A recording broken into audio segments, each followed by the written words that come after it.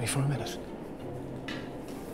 If this looks like hard work from where you're standing, I can tell you it's a lot tougher when you're actually doing it.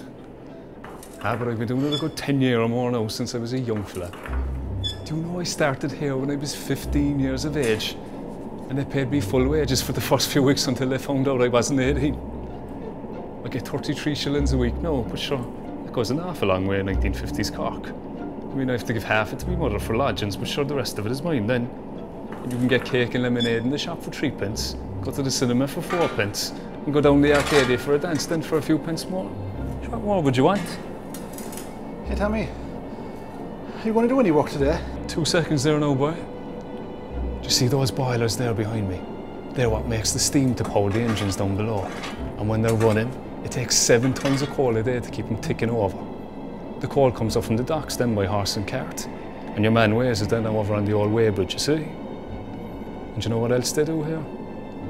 They check all the workers here every evening to make sure we don't bring any coal home with us. Isn't that right, Richie? Says Tommy. They search us every day. Ah, but it's a grand job to have all the same.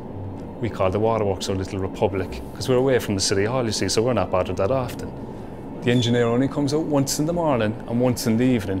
And sure, we don't start till half eight anyway. Whereas the rest of the city council workers, they start at eight o'clock.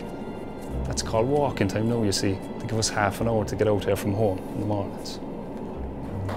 But I tell you, today is my favourite day.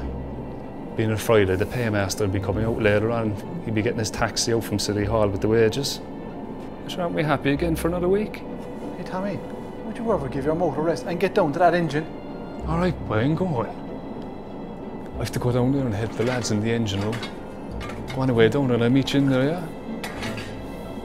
Go on, don't be waiting for me at all.